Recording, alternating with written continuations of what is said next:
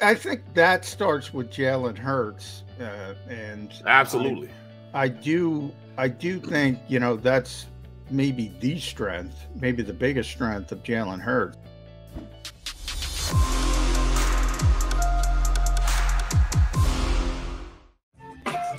All right, Eagle time. Welcome back in, everybody. Sports Take, JAKIB Sports YouTube Network. Barrett Brooks, Derrick Gunn, Rob Ellis. We're joined by our colleague, and you can see him each and every day right here, JAKIB Sports Network, 8 to 10 with our guy Jody Mac. That's John McMullen, who covers the birds in addition to a show that he does with Jody for jakibsports.com, which I love. I was all over this weekend.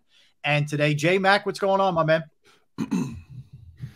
What's going on, guys? The A team. I'm glad man. to be with the A team. What's going on, my brother? My man, my man. So, John, a lot to get to here, right? Because I know you spent a lot of time down there, you know, the past week or so with OTAs as they continue. Let's start with the most generic way we I can ask this. What's kind of jumped out at you, whether it's good, bad, and different from what you were the access, which is limited, mind you, that you that you've been able to get the last week or so. Uh, mainly the off the field stuff because they don't do much on the field, to be honest, this time of year. And we're scaled back to seven on sevens and 50 minutes on the practice field. So you can't learn a lot from that. But what we did know, and, you know, last year, uh, Nick Sirianni gave the play calling to Shane Steichen. I think that was a little bit of an underreported thing. Now Shane confirmed that's going to be the way they go forward and he's going to be the offensive play caller.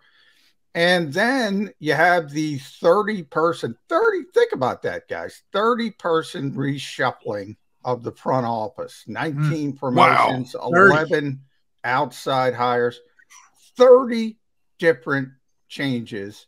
And I, you know, some of that, it, it, it, you know, the two assistant GMs, Alec Halaby and John Ferrari, are essentially having the same job and and getting a a a bigger title, but still, it, it's it was a power vacuum, and you know it was spilled a little bit more by guess who Howie Roseman, at least on the scouting side.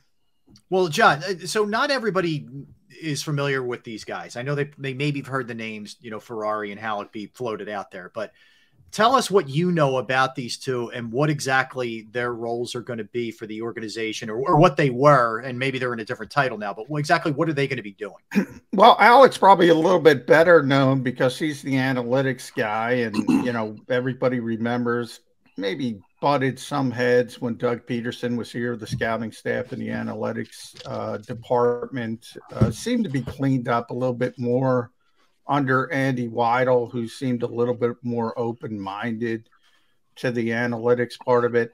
Um, John Ferrari's more of the what I would call the the nuts and bolts guy. You you may have heard uh, Nick Sirianni mention him a couple times. He was sort of the the go between uh, between football ops and the scouting staff and the league itself when it came to compliance issues and rule issues and the the Eagles are are usually ahead of the curve when it comes to stuff like that. Um, you know, winning outside the margins is what they call it. So any little advantage they can get, and John Ferrari is really good at stuff like that. Um, but it is strange, you know, most of the league when you talk about assistant GM or even GM, to be honest, it's changing a little bit with uh, Andrew Berry, who was here, and Kwesi Adofo-Mensah, Minnesota's a Cherry Hill native. Um, more come from the analytics or finance background. So there's a little bit of a shift, but typically still in this league, when you talk about GMs or assistant GMs, it's usually on the scouting side. It's usually from the scouting side. And the Eagles, their top three people in this organization now are all from the football ops side, mm-hmm. not the scouting side. And guys, they didn't replace Andy Weidl. They do mm-hmm. not have a vice president of player personnel.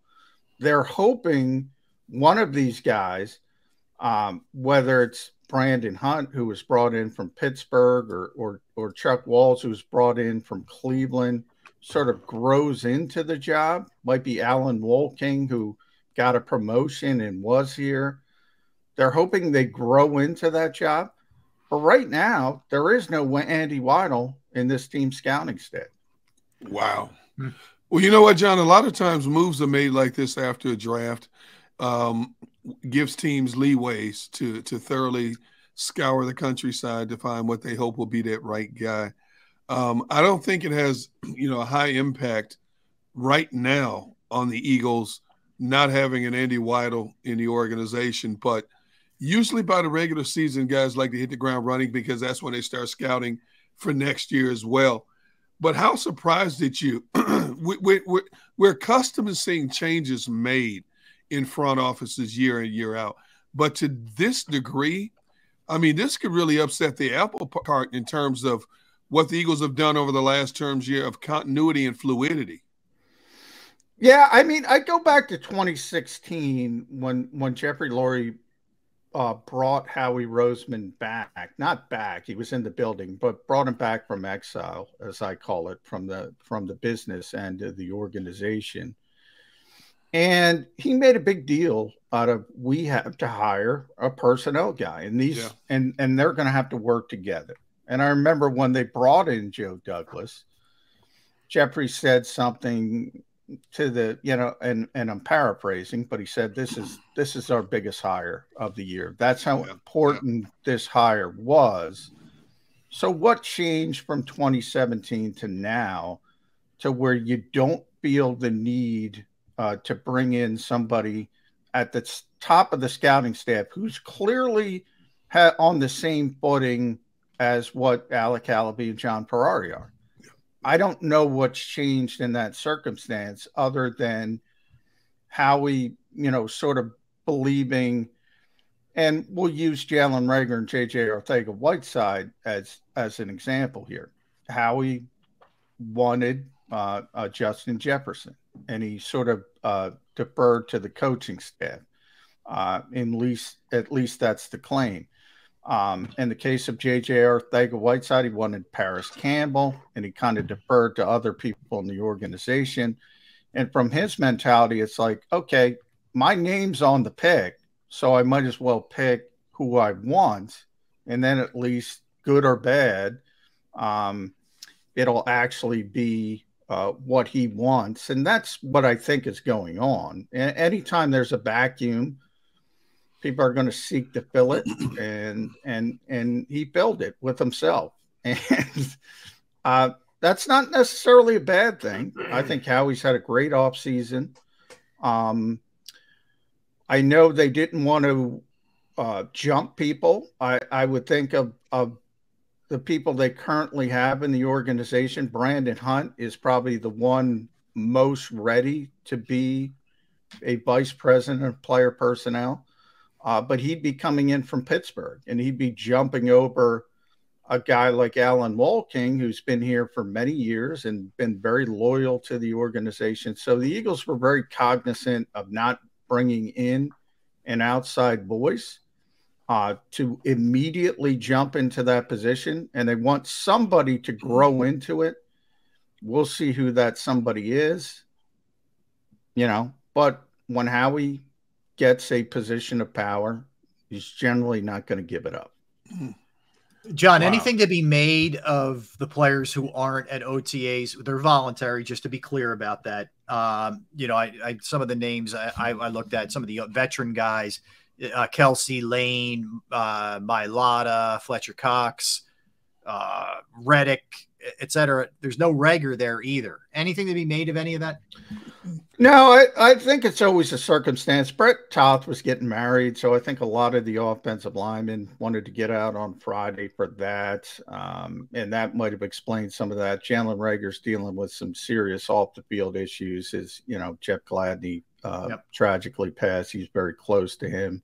I know he had uh, services over the past couple days. So it's generally these things where guys are in and out and, and they'll excuse them um, and last Friday was the open day for reporters. So, I mean, a lot of guys probably just wanted to get out for the weekend. And um, so I wouldn't, I wouldn't look at it as, as players. The one guy, Fletcher, I'm, I'm a little bit, you know, I put an asterisk next next to him because Fletcher is typically one of those guys that talks to us all the time. He's one of the go-to guys, and since everything went down with his contract, um, he has not spoken to the media at all. So this goes back to before OTAs. They were giving us a group of players uh, once a week. Fletcher still hasn't spoken about it. And, you know, maybe he's a little bit unhappy that he had to rework his deal. Uh, we'll see. So I just put that out there. Mm-hmm. I, I, you know, I don't think he's still getting $14 million. So he's still re-signed with the organization. He, he should be thrilled to talk to anybody, John. He should be doing yeah. backflips with the way that he played yeah. last year. Yeah. So I, but it's it's strange that he hasn't talked to us by this point. Is, hey, is all I would say. Hey, John, what do you think about the way the um, the PR staff is handling you guys from a media perspective? I mean, uh, the NFL opened up the locker room, the field, stuff like that, but they do so with certain limitations on it as well. Um, how do you feel about the access slash limited access that you guys have once again out there?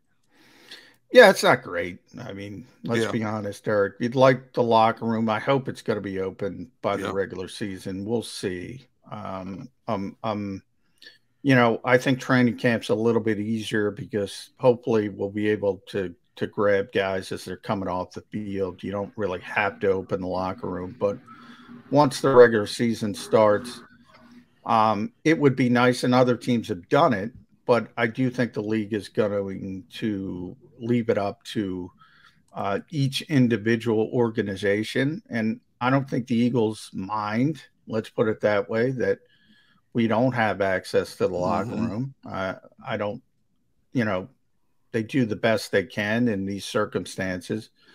Um, but it's not good for anybody. It, and I know fans are probably you know they don't want to hear reporters complain and i understand that but it affects the information fans get as well so i i do think it's an important part of the game the league understands it we'll see how much the eagles understand it. As far as otas look they only have six ota practices but you know we only have access we had access on friday. We'll have access one day this week. It'll either come tomorrow or wednesday. I don't like that. I mean, there's no no reason the Eagles couldn't open up each practice for 10, 15 minutes at least for the media to at least watch individual drills, sort of like a regular season practice. But it All is right. what it is, and and and every team is scaling back uh, yep. media yep. access, and it's probably not a good thing. No, I um I'm, I'm I'm gonna go from the players now. You know, I mean, I'll let you guys talk all about front office and all that. You know, in fact, you know, I'm gonna tell you guys this. Brandon Hunt is a really good friend of mine. In fact, I'm gonna get him on the show as soon as I see him. Uh, uh, you know, I'll probably see him on Wednesday. If he's there on Wednesday, I'll have to connect with him because I when I was with the Steelers, he had just got there, and he was right. just the guy. I'm talking about he was low man on the totem pole, so he worked his way up with the muscle. You know what I'm saying? Real sharp dude, really good friend of mine, man. So right. I'll get him. But um Derrick's gonna hold you to that. Oh, no question. I know he always. Wait, does. let me let me let's see. One four one fourteen p.m. Watch on Watch Monday. what I tell you. Watch All what right. I tell you. Right. Watch what I tell you. But uh, um, got it. John, I, I, I was out with the guys. You know, I was in that charity basketball, I mean, uh, softball game the other day. AJ um, Brown's a ringer, man. That's oh, a Padres draft pick. No question, man. No question. He showed it. He showed it. He, in fact, he won the home run contest. Uh, he actually dethroned um, uh, uh, what's his name from uh from Dallas, uh, Micah, Micah Parsons. Parsons. Micah Parsons. Yeah. So yeah, but um, t- you know, tell you the truth, that's the tightest group I've seen as far as a locker room you know, just from guys being outside of the locker room that I've seen in a long time, man. There's very few and far between do you get guys to come and play and stuff like that when you're not getting paid. And these guys came uh, to help out, you know, DeVonta Smith and the camaraderie and the closeness that you got. This is this is this is upwards right right around that 2017 team that I see the closeness. 2017, 2018. Do you get that feeling, or did, you, did you see it when you were at practice? Because it was very evident. You know, even when I talked to guys that weren't even, uh, even the guys that the way they talk about guys who weren't even there, you could tell the closeness and how close those guys were. even at this this baseball game, the softball game. Yeah, I mean, I, I think that starts with Jalen Hurts, uh, and absolutely, I, I do I do think you know that's maybe the strength, maybe the biggest strength of Jalen Hurts. I I still have yet to meet the guy who doesn't like Jalen Hurts, and it, it's, um, you know, he goes out of his way. I think that's the most impressive thing about Jalen is, you know, when the Eagles bring somebody in, you know, whether they draft him, whether they trade for AJ Brown, for instance, and and he's obviously a little bit different because he's so close to Jalen off the field. But no matter who it is, um, First guy who texted him is Jalen Hurts. He goes out of his way to get their number, to find them, to welcome them to Philadelphia. Um, he goes in the locker room. This time of year, there's there's 90 players, as as you know, Barrett. So typically, there's a former quarterback in this town that shall remain nameless. Wasn't going to go around and introduce himself to the 90th guy on this roster. Jalen Hurts will, and he tries to engage everybody and he understands, you know, his his sort of platform on this team and who he is as the on-field leader, and he tries to uh, involve everybody. He tries to bring them in under the umbrella. And for a quarterback, a lot of quarterbacks, you know, forget about, um, uh, you know, Aaron Rodgers in Green Bay. Look, that guy's MVP, MVP, probably going to win another MVP trust me on Aaron Rodgers. He's not going out of his way to contact everybody in Green Bay. Now, when you're that good, it really doesn't matter. But I do think it's one of those outside the margins things people don't think about when you talk about chemistry, camaraderie. Um, I think it all starts with Jalen Hurts, and then you got guys on the on on the defensive side of the ball as well. I mean, D Gunn knows there's not a better person in the history of the NFL than Brandon Graham when it comes to engaging people. Um, Darius Slay is an unbelievable teammate. For all oh, no the, question. Yes, you could tell the, that. Yes, the, the joking and all the stuff. I mean, he just he wants to help the young corners, the young receivers.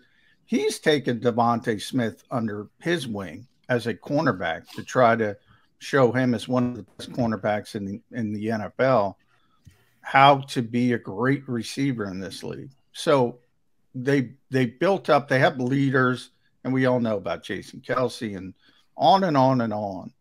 They have these leaders that that you know are cognizant of what it means to build a strong locker room. John, one of the things you wrote about uh, the last couple days was Brandon Graham really thinks Derek Barnett is due for a good year and you know he's, he's been through. Derek, Why Derek, Derek's reaction. So he's been through five years, John. I can't even get through wow. the question. Good so teammate. Good yeah, teammate. Yeah, but uh, right. No, and, and Brandon's a great teammate. But yeah. I mean, you talk about a guy who's had 21 and a half sacks in, in, in whatever it's been five years since they drafted him prior to 17 uh, other than Brandon's the greatest guy in the world, which we all agree with, why should any of us believe that this is going to be the year for him? Well, I you know, look, I, I don't even see where where there's going to be playing time to where it can be the year for him. But here's how I describe Derek Barnett. Derek Barnett's all about expectations as the former 14th overall pick in the draft, right?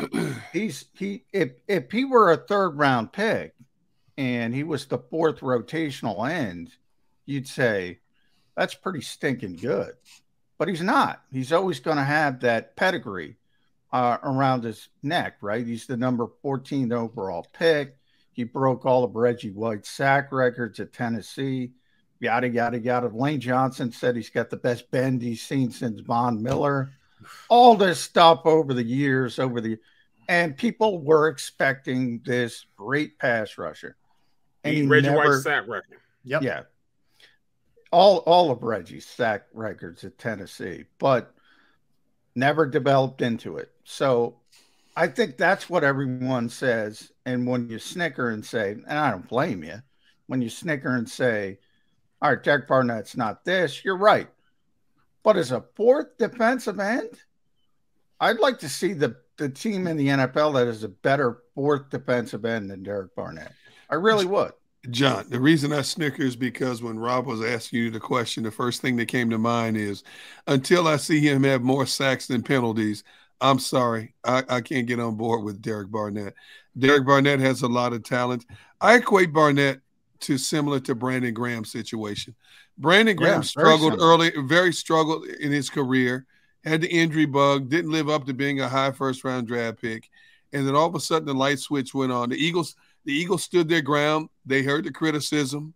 They they they deflected all the bullets towards Brandon Graham, and lo and behold, now Brandon Graham can write his own ticket in the city of Philadelphia based off of one play. One play. He he strip sacked the evil empire.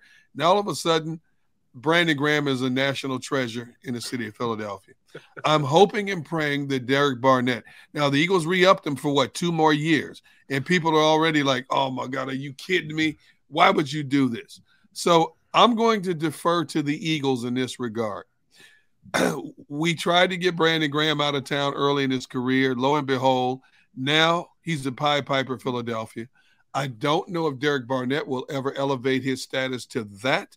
I'm just hoping, as I said in my initial statement, that we can see Derek Barnett play a season where he has more sacks than penalties That's all I want. Um, well, we'll see if it happens, but I, I will say this: when you say two, the, the contract is really one year for five and a right. half million, and and right. the Eagles can get out of it. So, right.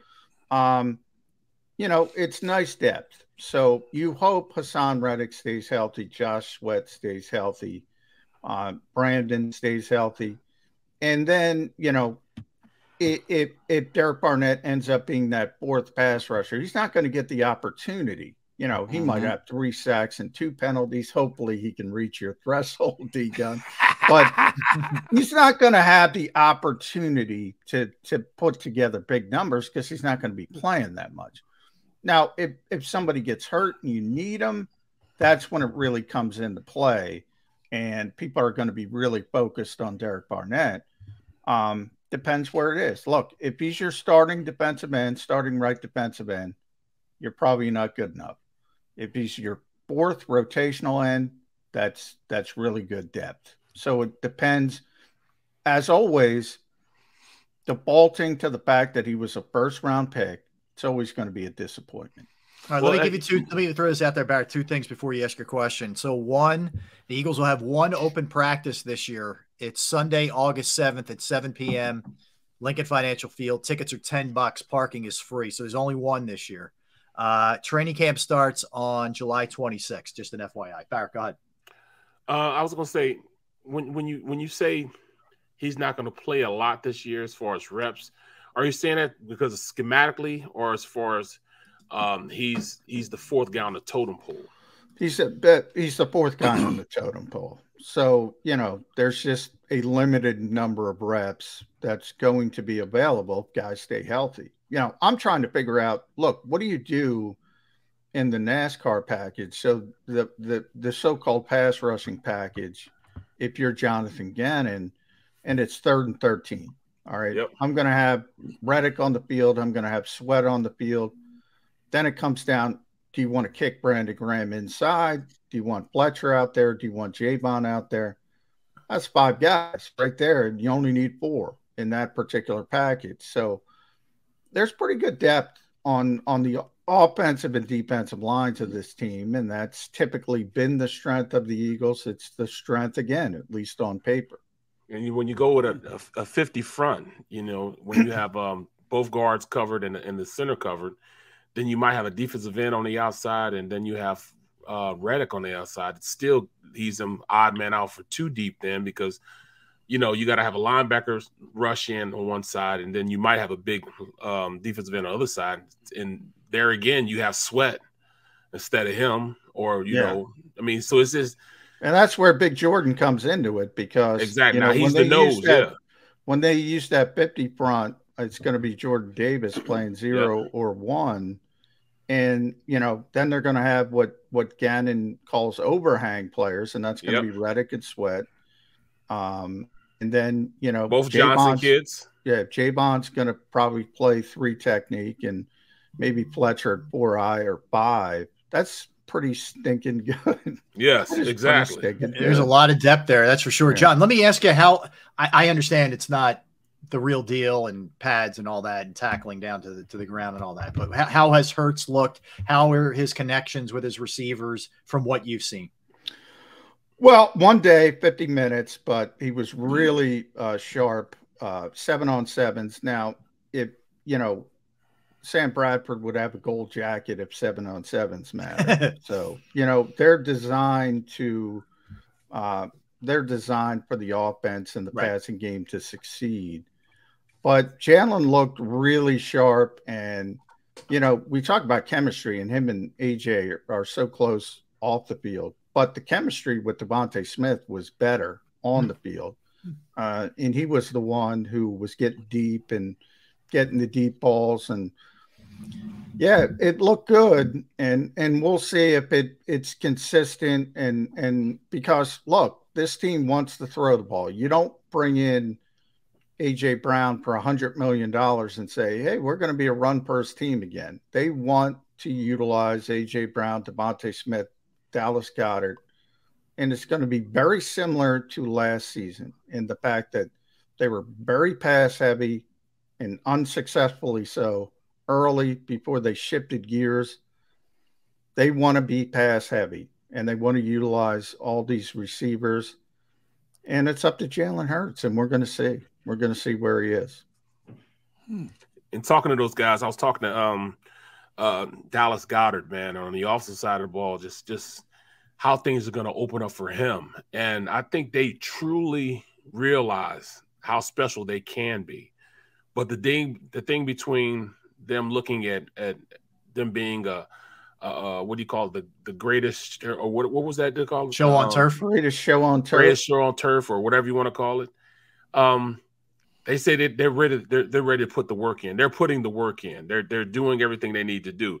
And that kind of caught me you know they said they were ready to work. That's how they let that's how they started the conversation. Up man i'm i'm just ready to work man. I mean, we could be pretty good but we're gonna put this work in. Well i, I gotta say and they do work hard but most of the work they're doing barrett is in the stinking classroom because right. they're never on right, the field right. Um, Does that concern you, John? The, the, the lack of you know camps also they didn't have a lot of injuries last year, but the, the camp is not as arduous as it maybe has been in the past. The OTAs well, are less than they even have to do. Well, I'll say this, Rob. There's two teams who ha- don't have a mandatory minicamp: the Eagles and the Cincinnati Bengals. And the Bengals at least have a reason. They're coming off the longest season in NFL history, right? They went to the Super Bowl, first 17 game season. Um, I'm I'm I'm more of an old school guy, but I realize things change. It's never going to be like the way it was, like when Barrett had to practice and and and two a days and all that kind of stuff. So the Eagles have been um, ahead of the curve for the most part. I do think that's one of the positives of having a younger coach who's open minded to this mm. stuff because you know, some of these old school coaches go, Well, I want to practice. I want to be at, well, you're not allowed to by the CBA. But the Eagles are taking it to an extreme. They're not utilizing the time they do have on the field, at least, because you could have 13 off season practices. They're at six, guys. Hmm. Six. Yeah. yeah. Hmm. Um, I don't know. Is it going to hurt the veteran guys? No it's not going to hurt the veteran. It's not going to hurt the Kelces and the Grahams of the world. Who cares? But when it comes to like 45 through 90 on the roster, and you're trying to develop these younger players, I don't see how it helps them. I will say that. So, so John, who's your odds-on favorite to emerge as the number two tight end behind Goedert as we sit here today? Um, if I had to bet, I'd bet on Grant Calcaterra, uh, mm. the rookie six round pick. And I, I think it'll be sort of Jack Stoll will be the blocker and, and Grant will be more the receiver. You know, Tyree Jackson was on the field. It was interesting. I, I got to see him, but he had a big, big brace on his right leg. And mm. he tore his ACL in week 18. So that's a nine month injury, which would be right around September. Um, so we're not going to see him for a while. How dare you not say JJAW? I dare you. Yeah. Come on, John. Come on, John. You better than that. Yeah. he, he did gain some weight. I think the Eagles listed him at 237, but that's a tough transition to make. Um, that is a concern because you know Dallas Goedert's great. We all know he's an emerging star, but they don't have much behind Dallas Goedert yeah, at tight end. Mm-hmm. That's fair. I, I want to hit last one. I want to hit you with John. You touched on it early, the Steichen thing, and you know, it wasn't like it was new. He did take over last year, but it, you're right. It was downplayed a little bit, or just maybe not played up enough. Whatever. Um, what's your sense of that? Do you like the fact that Sirianni's taking more of the delegation role? He can, you know, look at his defense, look at his special teams, address a player or coach during a game rather than having to be locked in on every little single thing. How do you view it?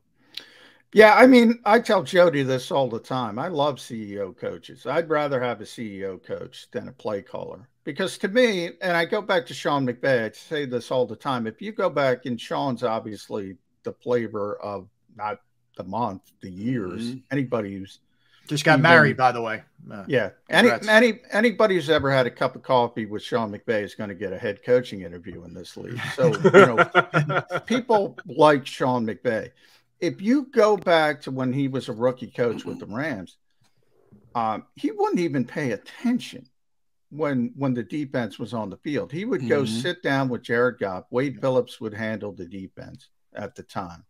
He wouldn't even pay attention. And I'm like, he's just a glorified, you know, offensive coordinator with the title of head coach. And most of the league, to be honest, is run that way.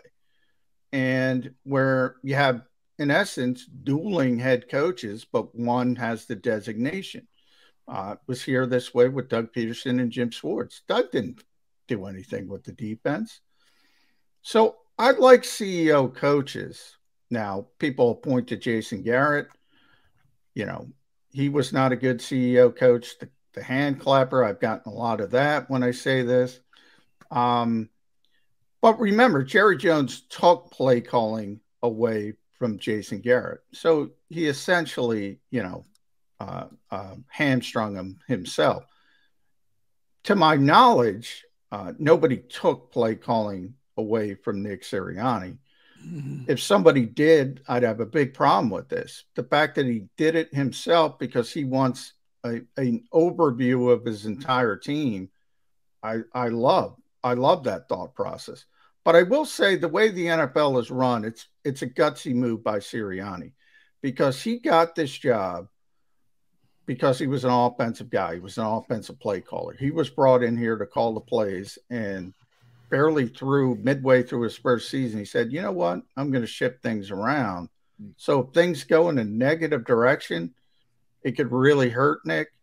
Um, but I I love it. I, I think it's the right thing to do and I, I, want them involved in all aspects. If I were an owner, um, I just prefer it. I just think that's the mm-hmm. way to do it. Yeah, and I, I like the fact that he's confident enough of him, in himself that he's willing to give things. I, I know that sounds strange, but he he's got enough security exactly in, in the way yeah. that he in his beliefs that he's willing to give those things up. It doesn't have to be a control freak which I think, like you said, could blind you to certain things. That's where I give him a lot of props uh, in general. I thought he handled himself well in both of those capacities last year. John, good stuff, man. And, and I'm loving your work on jakibsports.com, J A K I B, jakibsports.com, our new website. And of course, with Jody every morning, every uh, Monday through Friday, 8 to 10. Birds 365. Good stuff, John. Mm-hmm. Appreciate it, man. Thank you. Thank you, John. Thanks, guys. Always appreciate it, brother. Yep. You got it. Yeah, Jay Jay Mackey. Again, guys, check out the site, man. It's really, really good. There's all kinds of stories on there, Eagle stories, and you can link up to any of the shows, and all of our past stuff is there as well. You go to YouTube and, and, and get our past interviews and past shows too, but it's there as well. So good stuff.